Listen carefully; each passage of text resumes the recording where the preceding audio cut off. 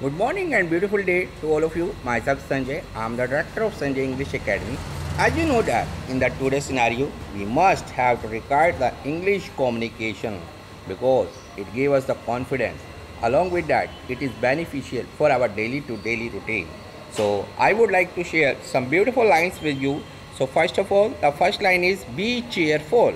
इसका मतलब है खुश रहे सेकंड डू नॉट बी शाई इसका मतलब है शर्माए ना बी एक्टिव चुस्त बने बी पोलाइट नरम बने do not show your attitude अपना घमंड ना दिखाए do not wear dark clothes गहरे कपड़े ना पहने it is a memorable day ये एक बहुत यादगार दिन था इट इज़ वेरी शार्ट ये बहुत तेज है it is very short along with that you speak very sweetly आप बहुत मीठा बोलते हो I do not feel comfortable here मुझे आरामदायक महसूस नहीं हो रहा।